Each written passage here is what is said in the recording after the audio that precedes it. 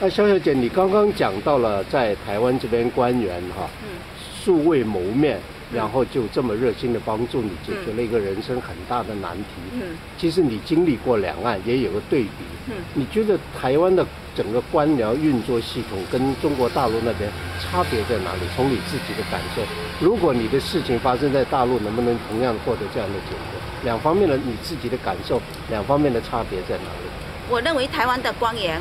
有同理心，他比较会同同情帮助这些弱势的人，所以很多东西在台湾是不需要走后门啊、拉关系啊、送礼，从来没遇到。不需要，不需要。啊！我连那新人主委，我连面都没见过他，我也没送他一毛钱的礼物，我也没请他喝过一杯的开水，然后他把我的困难解决的这么完美。我我我想我在大陆哈要运气这么好，可能很难吧。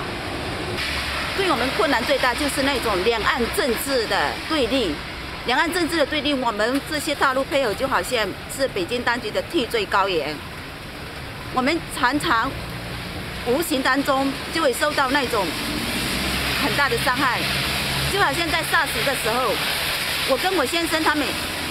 一家人的亲戚清明的时候在聚餐，然后就突然间会讲说：“哎，你们大陆人不要把 SARS 带到我们台湾来。”就无形当中很多事情都会看拖到我们的身上。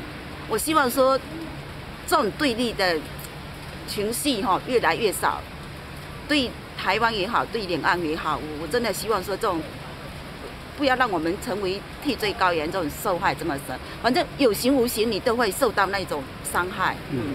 所以你经历了政党轮替，在大陆是从来不可能想象的。